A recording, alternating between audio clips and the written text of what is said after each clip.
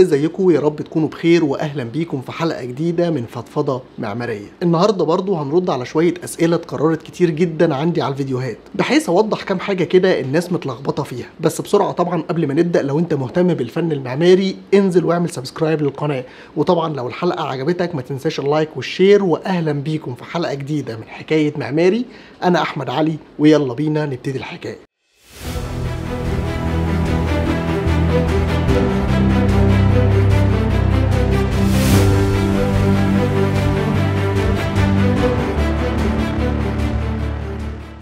أول سؤال اتكرر كتير جدا كان بخصوص العزل الحراري. ناس كتير مش فاهمة يعني إيه عزل حراري. وناس تانية فاكرين إنهم لما يعملوا عزل حراري في البيت علشان يقلل البرد في الشتاء ده هيحسسهم بالحر أكتر في الصيف. علشان كده خلينا في الأول نعرف يعني إيه عزل حراري. وده علشان أوضحه لازم نرجع لورا شوية. ونعرف أصلا إيه هي فايدة المباني. وإيه أهم الحاجات اللي لازم تكون موجودة في المباني. أو نقدر نقول اللي عشانها أصلا المباني اتعملت. أهم دور لازم يعمله المبنى هو إنه يحمينا من العوامل الخارجية.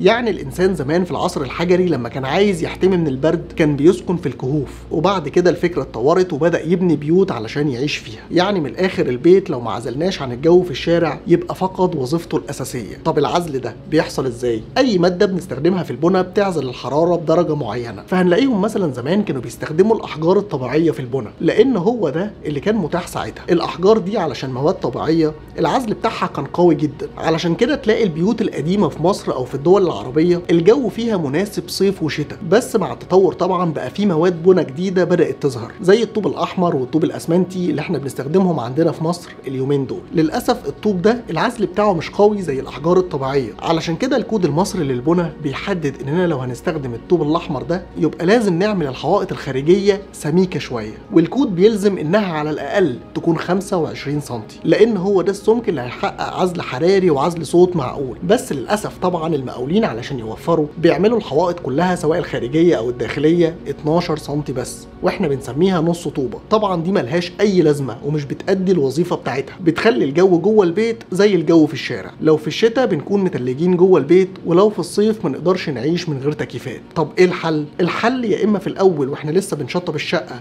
نتأكد إن الحوائط الخارجية معمولة سمكها كبير زي ما قلت لكم 25 سم أقل حاجة ولو مش معمولة نعملها إحنا. أو لو المساحة عندنا ضيقه ممكن نعمل حاجة تانية بديلة وهي ألواح عزل حراري. ودي ألواح بتتباع عادي جدا وبتتثبت على الحوائط الخارجية بس. وكفاءتها بتكون عالية جدا. يعني من الآخر يا إما نعمل حوائط سمكها كبير علشان تعزل الحرارة والصوت أو نعمل حوائط سمكها صغير ونثبت عليها عزل حراري جاهز. الاثنين هيحققوا نفس الغرض والعزل الحراري الجاهز طبعا بيكون كفاءته أفضل. فهمنا كده يعني إيه عزل حراري وإزاي نعمله. جميل جدا. هل بقى لو عملنا العزل الحراري ده في بيوتنا هيحمينا من البرد في الشتاء بس وهيحررنا في الصيف؟ السؤال ده برضه اتكرر كتير جدا ودي طبعا فكرة غلط تماما. وعلشان تفهموا الموضوع العزل الحراري ده بيزود حاجة اسمها مدة الانتقال الحراري من بره لجوه. يعني لو درجة الحرارة في الشارع 40 درجة هتاخد وقت قد إيه لغاية ما توصل لجوه الأوضة؟ كل ما العزل ده كان كويس كل ما المدة دي بتزيد. معنى كده لو إحنا في الشتاء ودرجة الحرارة في الشارع 5 على ما توصل جوه البيت بتاخد مدة طويلة تكون الشمس طلعت ودفت المكان. نفس الكلام في الصيف لو درجة الحرارة بره 40 على ما توصل جوه الفراغ بيكون الليل ليل ودرجة الحرارة دي انكسرت. طب دي حاجة حلوة قوي. معنى الكلام ده إننا لو عملنا عزل في بيوتنا هنقدر نستغنى عن التكييفات والدفايات؟ هقول لك لا العزل لوحده مش كفاية بس على الأقل هيقلل المدة اللي بتشغلهم فيها. يعني لو شغلت التكييف نص ساعة علشان يسقع الأوضة هيقعد فترة أطول على ما تحس بالحر تاني لأن المكان خلاص ما بقاش يفقد الحرارة بسرعة. ونفس الكلام طبعا في الدفايات. فهمتوا قصدي؟ ده كده بخصوص العزل. نيجي بقى لتاني حاجة. وهي المباني الإزاز. ظاهرة الاحتباس تثار باستمرار والمهم أن نهتم بالبناء الذي يستخدم الطاقة بكفاءة وإذا كان علينا أن نعيد تصميم بعض المباني القائمة فأعتقد أنه ينبغي تصميمها بشكل يجعلها تحافظ على الطاقة. كنت اتكلمت قبل كده في حلقة وقلت إن الدول الحر اللي زي مصر ما ينفعش يكون التوجه فيها للمباني الإزاز لأننا كده بنحول المبنى لصوبة زجاجية. وده مش رايي أو رأي معماري أو اتنين أو عشرة. لأ دي حاجة علمية اتفق عليها المجتمع المعماري.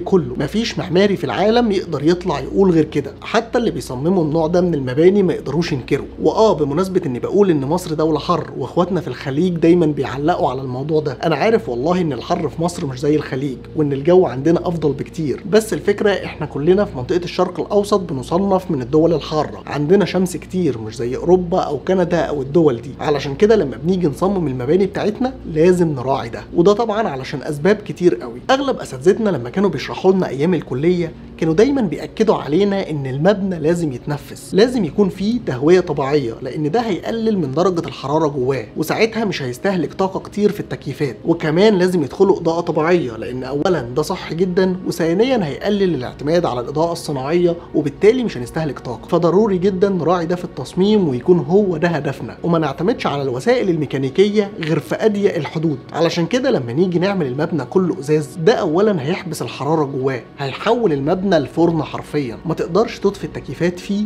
أكتر من نص ساعة. حتى لو ركبنا أحسن إزاز في الدنيا عمره ما هيعزل حراره زي الطوب أو الحجر. وفي ناس كتير بعتت لي وقالت لي إن دلوقتي في تكنولوجيا متطورة جدا في الإزاز بيعزل الحرارة كويس جدا ويمكن أفضل من الطوب. أنا ما عنديش المعلومة الحقيقة بس فرضا إن كلامهم صح. وإن في إزاز بيعزل الحرارة أكتر من الطوب. أكيد الإزاز ده تكلفته هتكون عالية جدا وحتى لو قدرنا على التكلفة.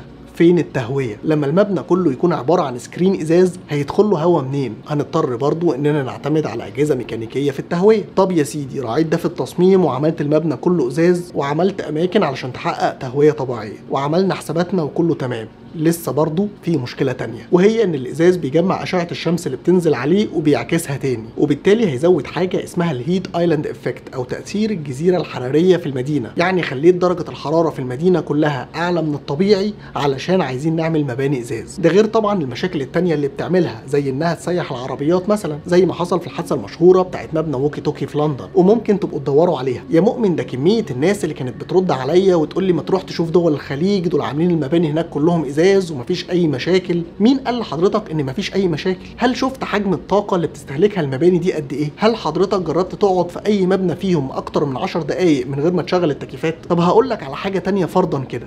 مين قالك إن المباني دي أصلا ما تكونش هي السبب في ارتفاع درجة الحرارة في المدن هناك؟ مش مصدقني؟ يبقى لازم تروح تقرأ شوية عن تأثير الجزيرة الحرارية وتعالى بعد كده نتكلم. من الآخر الموضوع كله مشاكل. طب على إيه؟ بلاها النوع ده من المباني ولو هنستخدم الإزاز يكون الموضوع مدروس ويتحط في أماكن معينة في المبنى علشان يحقق أعلى كفاءة ليه. والناس اللي لسه مش مقتنعة هسيب لكم تحت في ال description لينكات لأكتر من ورقة بحثية ل journals عالمية بتتكلم في الموضوع ده علشان لو عايزين تقروا عنه بالتفصيل. وبس كده انزل بقى بسرعة واعمل subscribe في القناة لو لسه ما اشتركتش و like و share للحلقة لو عجبتك وأشوفكم إن شاء الله في حلقة جديدة وحكاية جديدة من حكاية معماري.